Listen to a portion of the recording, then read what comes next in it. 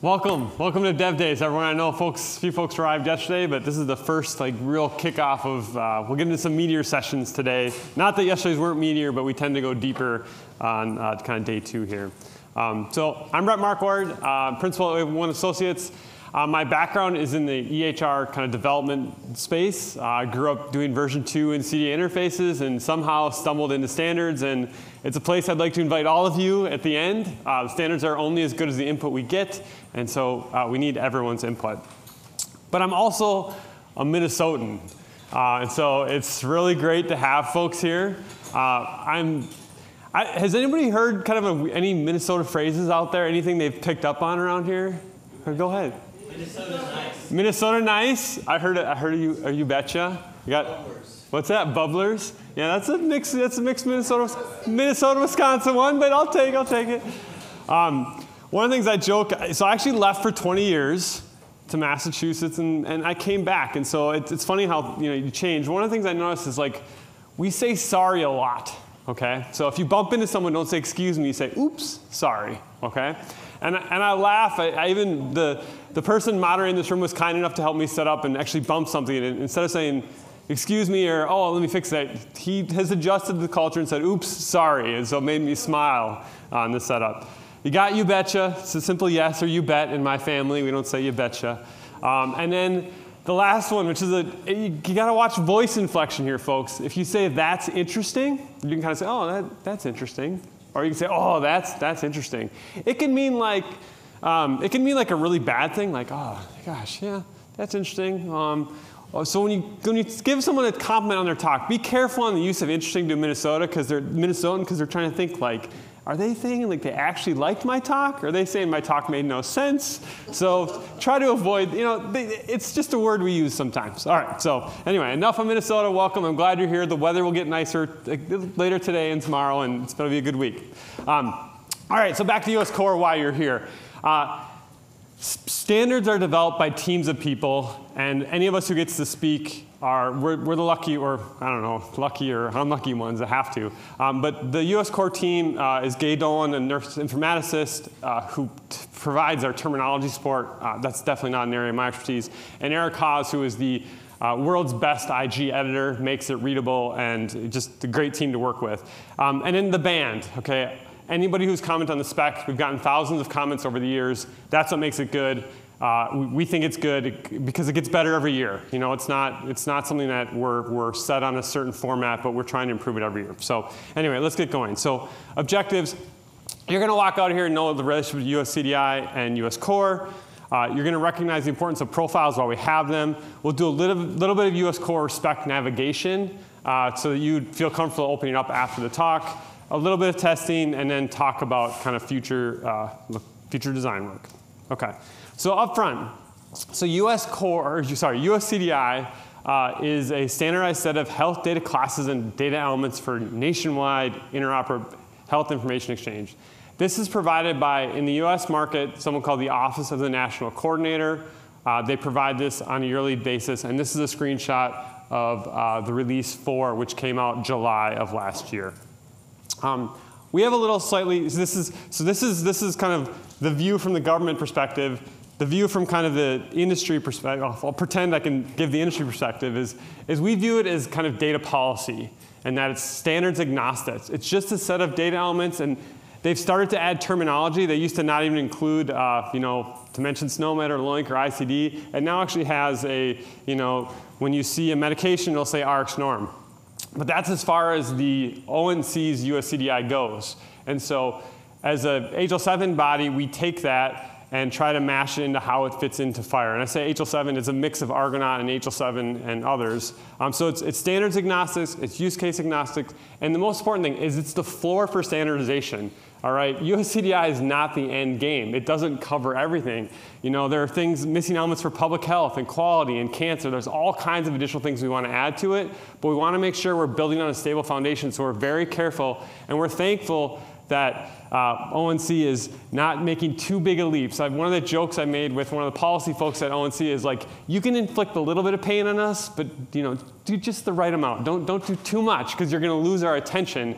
And honestly, frankly, for those who are regulators from other countries, if you stretch too far, you can lose the market, and people, I don't want to say they'll ignore you, but they won't give you the credit that you deserve in terms of trying to like bring people along to, for your priorities. So, another point on being standards agnostic, we implement USCDI in US Core. We also implement in a companion standard called CCDA. So for folks, we still do CDA documents in the US on the order of millions a day. Uh, and so that's, that's a good thing. And so we do today implement USCDI in both, so they're realized in both of those standards. Um, here's just a quick screenshot of the guide so you can see it. It's a foundational guide that maps USCDI into FHIR. Um, I, you'll, you'll, see this frog analogy throughout my presentations when I talk about this. I, I like to think we're both resting next to each other on a log right now. And the reason is we actually published US Core about five weeks ago. Okay, so US Core version 7 published the first week of May. USCDI, there's not a new release of USCDI till July. And so we have this like sweet moment, it's like early summer, we're like relaxing on a log together for once, okay? And next month, July, ONC is going to like hop off with their new release, and we're going to like try to chase after them to try to update because we can't update at the same time because we don't know exactly what the policy folks are going to drop on our lap, and we have to respond to that. So we're always in this game of leapfrog, but a sweet moment in time, we're together. Um, so why does this matter? You know, like, it's great. You got the standard, Brett. Who cares? Um, well, we do have some regulation behind it also. So the first kind of strong mention is in uh, the, the Cures Act a few years back, named the release uh, US Core 310, and then an update uh, named 311. And then, of course, for folks who are tracking very, I shouldn't say tracking very closely, we're all, uh, the, the most recent one is HTI1. I won't read the long name. But you'll see in there that they named uh, 6.1.0. And so for certified health IT in the US market, you're going to see US Core 610 coming out. Uh, one vendor I spoke with yesterday, I'm always asking vendors, like, where are you at? How's the testing going? Where are you at? And uh, one had said, hey, this, this summer and fall release, we're, we're going to have US Core 610 capability. We're, we're going to have it available for our customers to start taking because 2025 is a big year for the market in that all those customers have to upgrade to 610 next year because the rule is on January 1st, 2026, your customers have access to 6.1.0. And that's a big deal because that adds social determinants of health. It adds a whole bunch of kind of new policy kind of objectives. And so for folks who are doing IG development and you're always like, oh, we're using 311 or 3, look to 610 because that's where the market is going. If you're developing to 311 now, you're going to miss the boat to get folks and get some of that new, uh, new functionality. And frankly, the guide reads so much better in 6. It's just like there's so many good improvements to it. Okay, so bottom line, US Core enables US CDI. Um, and how does US Core do that? I, it's these moments of dev days being 10 years old, Argonauts turning 10 this year, there are all these things you reflect back in time and think, gosh, where have we come from? And I, you know, when I started working on FHIR, one of the things that was told to me, and it, it was you know 2013, uh, Lloyd McKenzie, brilliant, said, hey, we'll have profileless FHIR. You know, you don't need profiles. You look at the resources. So FHIR is built up of all these resources, and they're discrete enough You'll exchange them, you populate what you know, and life will go on. Maybe, maybe we'll have profiles, but we can get by exchanging without them. And for folks who've dug in and followed the journey here, it's pretty clear we can't do profile this FHIR. So I'll put a big X on there. Um, and let me just give a really kind of quick run through here of like, oh, it's hard to see, but this is the condition resource in FHIR. So how to record problems, we call it a condition. And you'll see, you know, got an identifier, pretty important, clinical status, verification, category, severity, body site. This is a pretty extensive model. I'm sure some people would want more data elements, but this is a, pretty rich model for capturing a condition. Does every EHR capture the stage of the condition? Is that important for every problem? Um, maybe, maybe not, or, but how tight is this model? And if you zoom way in, you'll see, okay, the code, so we're in condition code, and on the code, this tells you, it identifies the condition, problem, or diagnosis. And there's kind of this big phrase here at the end that's a binding in FHIR called example. And so what this means is there's not a terminology tied to this condition. For, and for terminologists, your heads go, well, gosh, how, would I ever know what this is without the right SNOMED or ICD concept to go in here? And so the base FHIR resource doesn't give guidance in this area. And, and that's probably a good thing because it's an international standard we have different kind of requirements across different countries of how we do this. But to make FHIR implementable, you got to give that the concrete guidance on what is the terminology we're going to all draw, draw from so that we can exchange information. Um, and so if US core condition, uh, you'll see, go back forth here, this, this probably isn't a screenshot of everything, collapsed all the way down into a smaller set of elements. You know, we have kind of uh, clinical status, verification status, a category code in US core, because uh, we needed to support the ability to say whether it's a health concern or SDOH. And then if we zoom in on that condition.code, you'll see we actually have a value set there. And in that value set of US core condition codes, if you were to launch into that, you would see that that's a value set of SNOMED and ICD-10 codes, because those are the accepted terms in the US for classifying problems. It is has this extensible binding, which is kind of interesting in that if if the value isn't included in that code system, you know, you can, you can, you know, if there's some new disease, you're able to use it, but the idea is that you're drawing from SNOMED and ICD, which are, are quite large systems. So profiles are important. It helps give concrete guidance uh, on how to implement uh, properly. Okay, so about the US Core Implementation Guide. Uh, it's built from this uh, original group, the Argonaut requirements. Uh, we'll talk a little bit about Argonaut tomorrow, but Argonaut is an HL7 accelerator, which is kind of a mix of uh, private uh, vendors, uh, technology vendors, client apps, actually a couple payers snuck in there um, that have helped to make FHIR deployable. Um, and so US Core is a formal standard for HL7, validated with a broad set of stakeholders. 6.1 is the one that supports US CDI version 3, hundreds of trackers, um, and really the big piece is improved conformance and guidance sections. You may hear this phrase, must support, and for anybody who's written a guide, uh, there's been a lot of gnashing of teeth of what must support actually means. Um, and I think it's finally stabilized into the 6.1.0 release. And, and, really what must support means in, in a sentence, or I'll, I'll, say it and someone can disagree with me after, is that the idea is we flag these elements with this little s in the profile, and it means your system has to support the ability to kind of capture and exchange that item, okay? That's part. You don't have to always have it. You're not going to, because sometimes it's not available, but you at least have to have the capability to do that. Um, and in 7.0, I can't help not mention it because it's just fresh off the presses, supports ONC's USCDI version 4. We resolved another 130 trackers. Again, the detailed change changelogs there with uh, updated guidance. And then we added a new section on SMART on FHIR obligations and capabilities. Um, so in terms of like fine granular controls of how to say, I want to give people access to uh, prob like instead of um, uh, observations, like laboratory observations or vital sign observations. So the way instead of saying, you know, the smart kind of access by resource type, it's actually going find a more fine grain uh, access spot. Okay. Inside the spec, you'll find a US CDI uh, to US core profile mapping. Um, you'll see that the terminologies are built into the spec to align with the requirements of US core.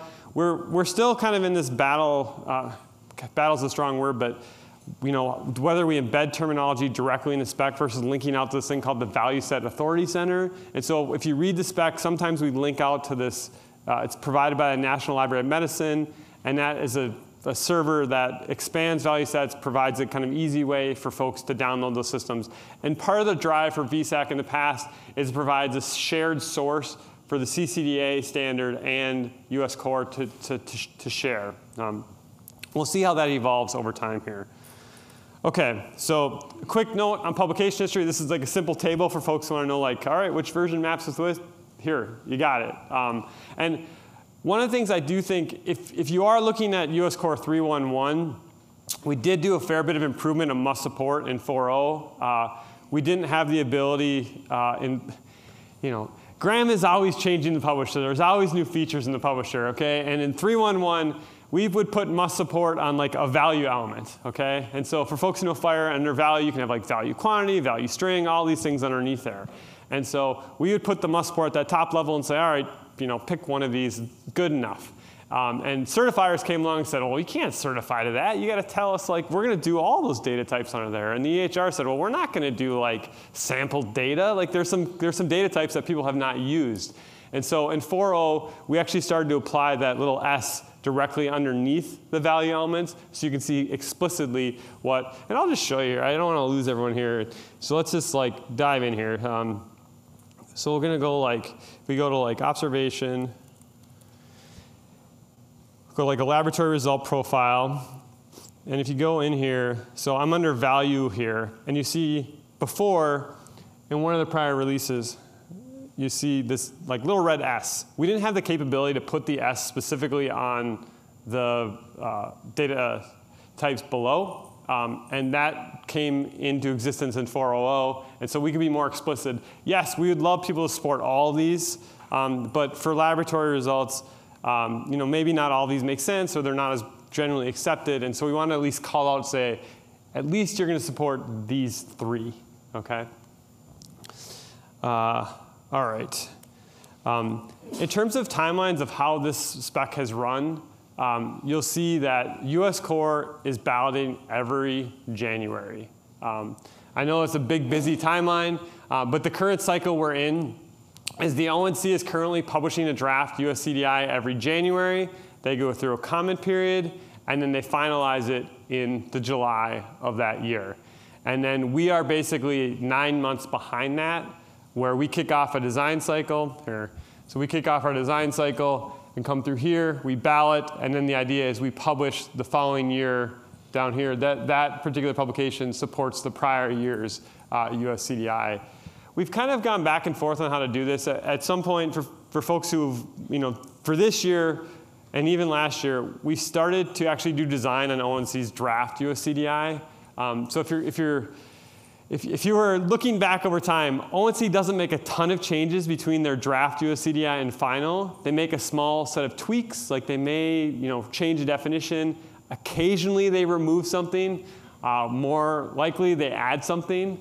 Um, and so we've just decided that it's not, it, it, takes a bit of time to turn the kind of ONC, I'll call it the data, turn that data policy into a formal standard. Uh, it's not something that we can just do in a few months uh, short time period. And I think part of the reason in the US market that that's the case is ONC gives us some nice flexibility in that they define, they'll say, you know, medication route or medication, they'll give us a, you'll see different levels of granularity in terms of national, uh, so ours is the US core data for interoperability, there's Australian core data for interoperability, there's the Canadian has started one. So there's different ones around the world. And, and at the government policy level, we're starting to see folks go to different level of detail. And some at the national level go all the way down to the data type. I think in the US, I, I feel fortunate and that our government is doing a nice job setting direction and then letting the market, like this is maybe a very US-centric approach of like, let's let the market, let's people fight it out a little bit. I think it's been a very healthy approach in the US market to figure, help vendors actually be very honest about what they're planning to support and what is realistic for kind of the data policy that can be tested then. Okay, so a really short, I don't know, a couple equations here. So US core does not exactly equal US CDI. US CDI is that data policy and US core we're not limited by what's in US CDI. So we have added things that are not in US, uh, so US Core has added things that are not in US CDI. So for example, a few years back, encounter was not a thing. Well, how, how, how important are encounters in healthcare?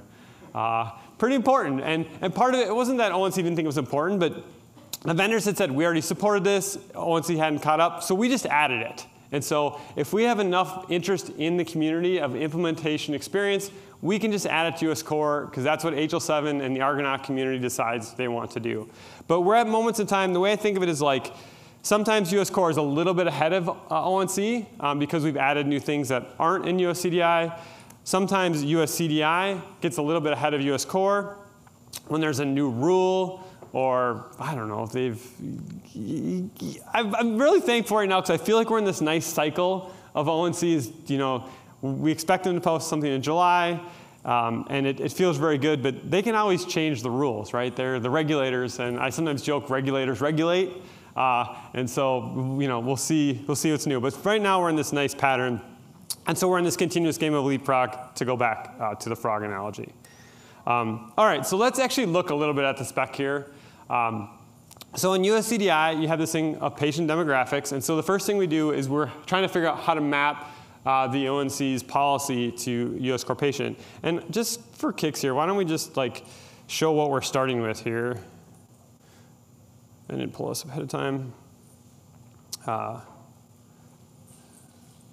okay, so this is the ONC's USCDI page. I suspect many of you have seen this.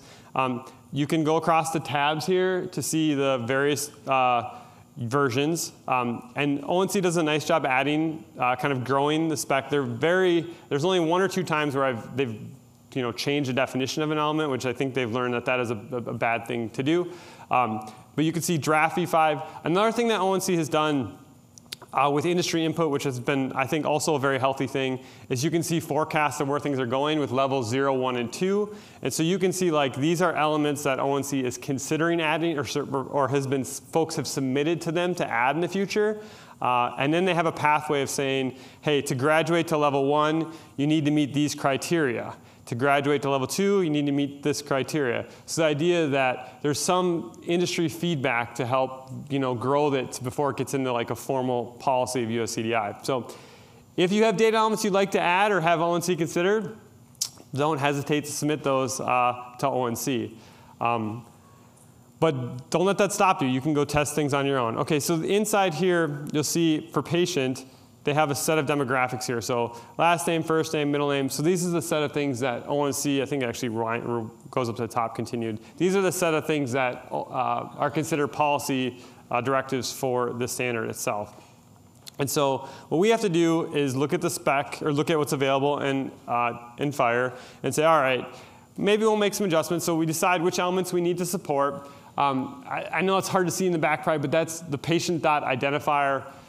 Um, you know, patient's medical record number. We have lots of identifiers in the US sometimes and health system, and so you'll see that that's one dot star, which means it has to always be there, and you can have many. Um, we have extensions, and so in the FHIR base model, sometimes uh, you have things that weren't part of FHIR International, and so we have to add our own. So in the US market, we capture race and ethnicity. That's not an international norm to do, and so we had to add a FHIR extension. Um, but we built that extension in a way that can be used across kind of all US products, and so there's a standard set of terminology there and a standard structure uh, to go with it. Um, and then also we mentioned uh, terminology, and so right here there's a binding to a value set gender identity. Um, I've called this one out because this is a shared value set across the, the, the family of products. So you're starting to hear this theme from me, hopefully, that like we're doing our best at the terminology level to share things across the different kind of exchange paradigms, whether it's a document, whether it's a FHIR API, or whether it's a version 2 transaction. It's kind of this, like, we're in this theme of like, it's time to stop kind of managing your own terminologies here. And now that we have some tooling to support it, to try to use common uh, uh, value sets to go with it. Okay, so then on each page, uh, we go through great pain to create this of like these mandatory must support elements. Uh, so must have means it's got to be there every time, and then identifier name and gender. Must support is you got to at least support it. We did add this kind of funky, uh, I don't, gosh, I used the word funky. Um, we did add this thing called additional US CDI requirements. And if you're first reading the spec for the first time, you may scratch your head a little bit at this, um, and, and that's okay. Um, I'm going to actually show you the page so you can see it. We have, in we have a requirement in HL7. If you are developing a US based specification, you have to build on US core, okay? Full stop. And when we kind of instituted that rule, we ran into cases where for public health they said, you know what? Um, we actually can't accept date of death, or we can't accept uh, the previous address. Okay? And so we had flagged those as requirements because those were policy requirements. And so we scratched our head a little bit about like, do we invent this thing called a base standard, which is like really loosely constrained, everyone can build on, and a core. And anyway, there's a whole song and dance about modeling. And we said, you know what? We're just going to start by putting little notes to say these are additional US CDI requirements. If you're a certified health IT system, here's an additional set of things you have to do. So anyone in the room thinking about certification, you have to do the must have, must support, and the additional US CDI requirements. By making them additional US CDI requirements, it supported better reuse within kind of the IG development ecosystem of um, public health could then build and know they're only going to have to support these like five things. And these others are nice to know that they, they could support them, but they're not a hard requirement for their IG. Um, and we did also flex a little bit to say like, you can you know, if you absolutely cannot build on US core, you know, you know, further constrain it. or, or you can come to, there's a work group at HL7, you can ask for a formal variance request, which has happened here and there because uh, you know, they're not able to, to do uh, what, what, what, was requested in the specification. Um, okay, so each thing has this narrative guidance. We have profile uh, specific implementation guidance. Folks, if you, uh, I, I know reading standards may be dry, but man, we spend a lot of time on some of this language. Um, and so like date of death, okay? It's a really simple element, date of death, right? That's what ONC said. You go into spec here and you read deceased, okay? So you'll see, all right, there's not enough support here. There's a US CDI. And someone said to us, like, do I have to do Boolean and date of death? It's not clear. Like, what, like, what do I actually have to do? Um, and this is, this is big dollars for folks, right? Because they're having to build their systems to support both their customers and prepare for certification. And so we added a sentence that said, oh, date of, date of death, deceased date time. And I think hopefully there's a quick link, uh, shoot the versions here. Let me show you how I use directory published versions here. I'm going to show you, so in 7.0, I'm going, sorry, this page is the history page. Every single spec in FHIR, US Core across, has this nice yellow box, and you can see this directory published versions. And if you clicked on that directory published versions, you'll see all the, all the current, prior, where it's headed. And so what I'm going to do is go to US Core 7 for a moment with you.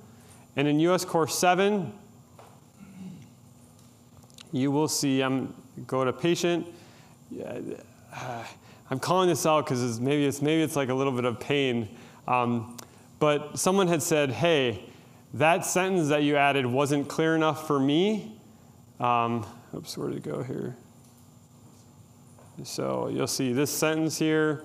This sentence about date of death wasn't clear enough for me. Um, can you please expand it?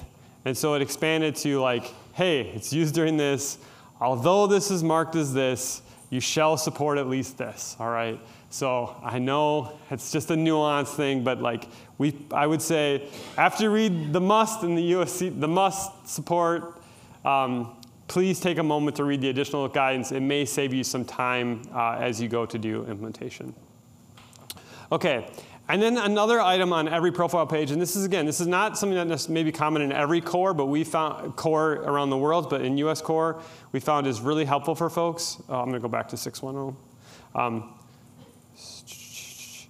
is we've at the bottom added the mandatory searches. Um, so if you're a client app developer and you're trying to figure out like what can I expect, getting by logical ID is something everybody's going to support. Um, uh, searching by patient identifier, so their medical record number or other special identifier that a site may have, searching by name, uh, searching by birth date and time. Um, these are things that certified systems have to go through and prove they can do. We do add some shoulds at, underneath here, uh, and that's just a simple of like direction setting that many servers already support and we may require uh, in the future. If you do peek ahead to 7.0, we, this is where this kind of granular, we did add scopes in here. Um, and so you'll see if you were to look at observation, you would see like observation scopes for categories of health concerns and um, encounter diagnosis. Okay, so that is the quick start page. Uh, that's the full view of a profile. Um, okay, so inside the spec, if you were to click, so this is where I mentioned that uh, problem value set. Um, if you were to click on that condition code, it would take you to uh, a value set definition, and this is a particular, it's a compositional value set. We're including codes from a specific hierarchy in SNOMED and including codes from ICD. So this is a very large value set. Um, sometimes we have these things called enumerative code sets. Someone, picking pregnancy is a very small. I know there can be lots of nuances and more complexity to pregnancy, but we just have these like three values of pregnant, not pregnant, possibly pregnant, uh, and then uh, an unknown, where we've actually specifically included the values in the spec. All right, capability statements. Um, these are a big deal, and this is a requirement of every FHIR server, regardless of, uh, it's not specific to US Core. You have to expose the capabilities your server provides. Um, we provide an example US Core capability statement in the spec, but again, every FHIR server has to provide their own. Um, and so inside the capability statement, you'll see the expectations that server must uh, support. Um, or sorry, they're claiming what they support. And so in the example, um, we have kind of the list of supported profiles. uh, the supported searches that go with it and combinations.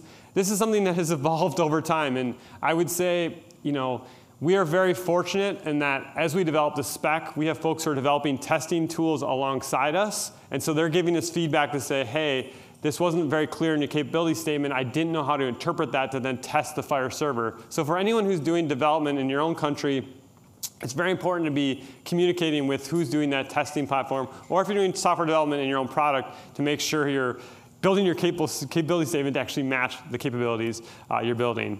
Um, and that validation tooling we have in the US market, uh, uh, one of them is Inferno. There's another one, Touchstone Aegis, uh, that folks can use uh, for certification. Um, and this not only does US core API testing, there's a bulk capability, a smart capability, there's a whole other set of functionality available here. Um, testing and community feedback. Uh, we do do testing at the HL7 Connectathon, so if you're uh, available in September in Atlanta, we will have a weekend session where we'll work with Inferno to test. Uh, feedback and testing is what makes specs good and implementable. It's, you really can't get enough feedback. Um, you always learn little nuances of how someone interpreted what you wrote, um, and so this is a very critical point of the development cycle. Okay, so this is a screenshot. I did, I did highlight, there are two things I didn't highlight earlier, but I want to highlight here is ONC leaves these little like breadcrumbs that I love, okay? And I try to tell them I love them and thank them is that like, hey, we added 20 elements in this cycle. Um, and you know, on this page, I don't think this is very obvious. But for me, this is the first thing I read. Oops, I lost. Okay. This is the first thing I look at every single time is on here, there's this thing called a standards bulletin. Okay, it's, I, I, I call it almost hidden, but it's not hidden, it's, it's clearly there. Um, but the standards bulletin, put this in your head. Inside this, this is where ONC actually writes the differential between the versions, okay? So if you're trying to understand like what's next, this is the thing to look at. And they do a description of why, there's more detail why, and we always, the first thing we all do, Eric or I do, is we take a screenshot of this, throw it on the HL7 Confluence page, and be like, hey, folks, this is what we're building from. So um, anyway, standards bulletin, my, my, one of my favorite things. Um, okay. Uh, and then the levels. Oh man, this is a big gnarly slide, but I, I couldn't help but put this in at the end. Um, so I, Steve Posnack and I uh, at HL7, uh, we have a US Realm steering committee and we chair it, and we went back and forth on this, this visual. And the reason I wanted to include it is I wanted to make it very clear where the US market is headed for the versions of FHIR. So the rows, so you see on the, sorry, I'm I'm gonna stop right here, but if you go way over, you see there's three rows. So you have R4, R5, and R6. And underneath R4 in the columns, you'll see in 2020 it was when 311 was released, 4.0, 5.0, 6.0. So we're marching across the top row right now for FHIR Release 4 with new releases on an annual basis. And underneath there, you'll see kind of the US CDI release that corresponds uh, to that release, okay? Because that release is the kind of prior year. And the reason I want to call this out, there are kind of two things. One, to mention the kind of rulemaking piece on the bottom. You'll see that the HTI-1 rule was published in there 23 and comes into effect, that blue arrow. Uh, so it was published over here. It comes into effect January 1. That's everyone has to do 610. So that's kind of the, the blue. There's some rumblings of an HTI-2 out there from ONC. We, know it's, anyway, well, someday we'll get to read it. It's not out yet. Um, but the point, the, the, so the first thing is like, we're committed to R4. You can see that. We've been marching along for years and years. And the, the question was, what are we doing about R5? And we have decided to say, you know, we're viewing R5 as a kind of a uh, international maintenance release, and we're not planning to do a US core on R5. So the US market is planning to skip from R4 to R6 when it's available. And how we're going to skip, I don't know. I mean, we have right now, we, ha we have this like overlap right now. So I can pretend, like it's nice to pretend in 2026 we're going to do two releases at once, but uh, it'll be interesting because I think there's going to be a lot of transition. You know, people talk about transition work between like different versions of US core being a challenge. This is going to be a bigger challenge for us. Uh, and so we're talking about maybe doing two specs in parallel. Um, but as US, or sorry, as FHIR R6 becomes more clear, we'll have to kind of get serious about exactly how we're going to do this. But it, I'm hopeful ONC will be like, you know, we're going to give you a break from USCDI that year. hint, hint, um, so that you can like figure this out. Um, but anyway, this is what it's looking like. This is what we've adopted. This is what we're, com we're committed to this plan of not doing a R5 release. We didn't make this statement about, if, if you were look back to the past for a moment, we did not make the statement about uh, FHIR STU3, and some vendors implemented STU3. So there is STU3 in the market, but it's not consistent across US vendors. Some did it, some didn't. Some were like, why did we do this? Um, and eh, anyway, we want to make it very clear that we're not going to do a US core on R5. Okay, future of um, US core. We joke that it's the way too early designs because we're designing on something that ONC hasn't finished. Um, but if you were to cop this link, we've spent probably I don't know, 80 hours already trying to think about how this would look. And there's actually new formal profiles uh, to support that, and that's on the HL7 Confluence page. Um, so I guess the way I think of it now is like the US CDI frog is ready to hop, and uh, we're going to chop uh, not too far behind it. Um, but to wrap up, how to participate, uh, we are currently uh, I don't want to say we're in a hold. We, we did a lot of design at the HL7 May work group meeting. Um, you can comment on the Confluence page or any designs, but we've decided that our next design, unless we get a ton of feedback offline, our next design session will be within one week of ONC publishing US CDI. So if they publish it July 4th, we'll kick off the next week. Uh, well, yeah, we'll, we'll just stay tuned to the Argonaut uh, Zulip channel. Uh, and that's where we'll make sure the information is posted. Or you can contact, you know, Gino, Dan, myself, and Josh are here, or Eric's always on uh, available on Zulip. Um, so anyway, hope what you learned is US CDI data policy is enabled by US Core. Uh, you understand that it's widely used. We have lots of versions. You'll be able to navigate the spec and then find the future work. Um, we're doing feedback for this Dev Day, so please, for all your talks, uh, take a moment to give feedback. And uh, I look forward to all of you commenting on US Core, right? So if we get one comment from all of you, it'll be just this much better. And so, yeah, and not just US Core, comment on all the FHIR specs, because I've said it over, I'll say it again. They're only as good as the feedback and testing is done on them. So thank you very much, and I'll pause, see if anybody has any questions on US Core. No.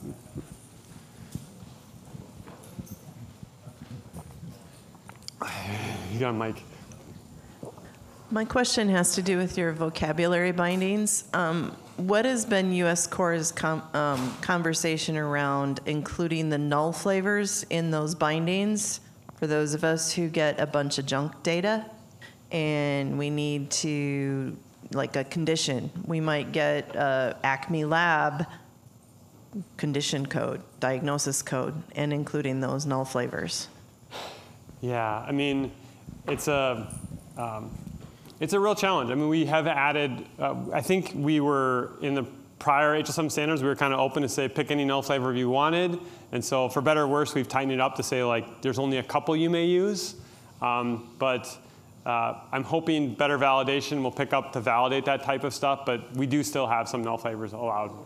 Um, it's just that if you don't include the null flavor in the IG, then we have to profile on top of it, and it's, you say it's extensible, we include the null flavors, but now we have to use our own flavor of the IG for validation to include those null flavors. If you have null flavors that we, we've, we've definitely added more null flavors back. If you have null flavors that you think we're missing in a few spots, please submit them and we'll consider them because we have tried to add, we definitely add, we originally didn't add any. And so. Basically, that was my question. Yeah, yeah. Basically, that was my question, is whether or not if I log those trackers and Yeah. say, please add null flavors here, here, here, here, here, and here, if you would even consider it. We you're will, saying, yeah, we will okay. consider it now. Before it was probably a much harder no.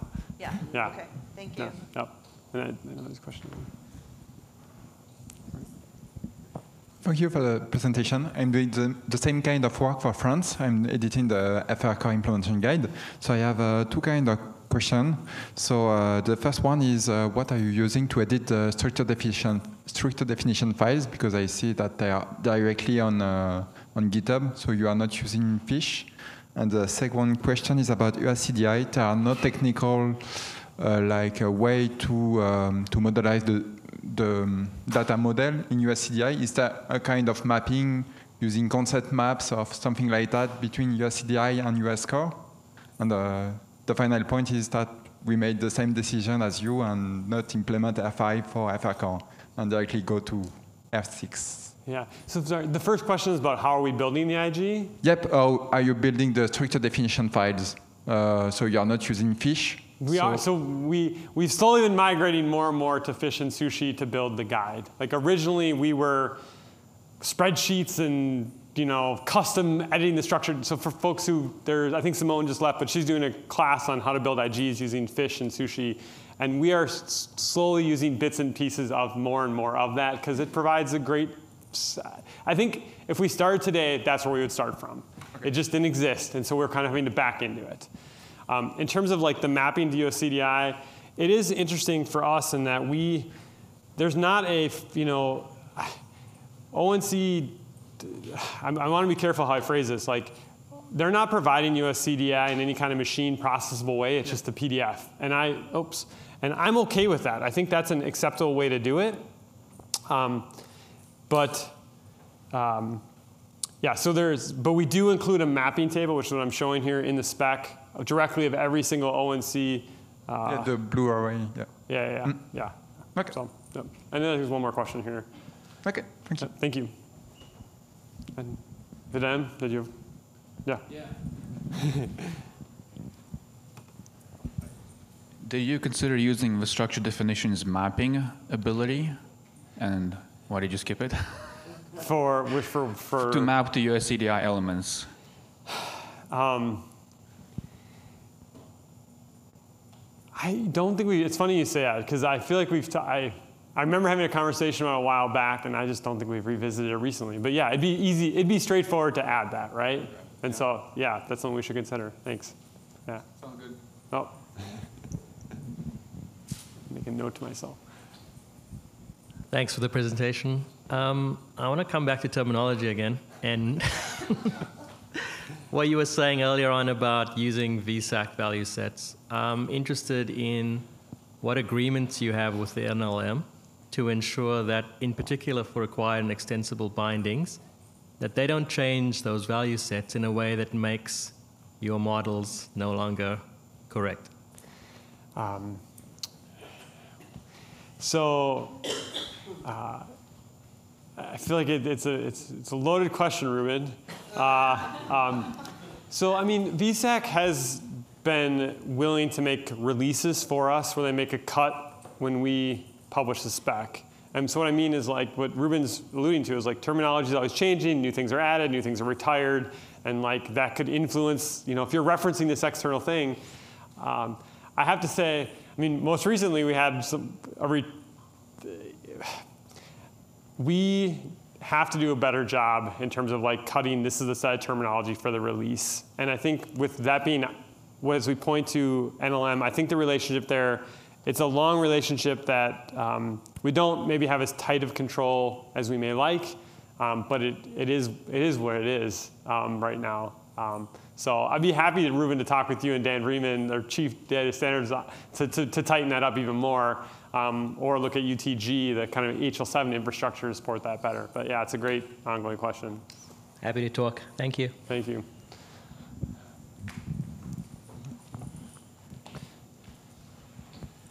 So we're all aware that there's a big deadline coming up with US CDI v3 and correspondingly uh, US Core 6.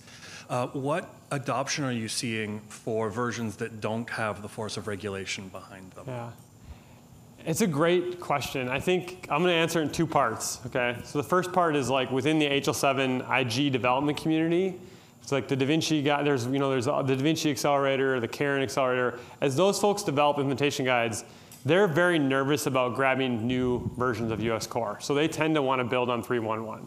Um, so that's kind of the HL7 ecosystem. But when you talk to the vendors, um, they don't necessarily. My experience you know, as the Argonaut community, I get to talk to, you know, half a dozen of the biggest EHRs in the market, and they're looking ahead, and they're not like constrained by what's in the US Core 311, and so they're always folding new features way beyond US Core, and they're always like the feedback of, hey, you did five, like they're they're actively They may not declare that they're supporting US Core 5, but they've already folded those features into their API because they're trying to prepare for the next release. And so it's not like, you know, Oracle and Epic and Meditech are jumping from 301 to 6. They've already added like 60% or 70% of those features because their client customers' apps have asked for them. And so it's like kind of a, natural growth path that they may not be publicly announcing the way you may like, but they are adding it to their API. All right, that's a wrap. Go get some coffee.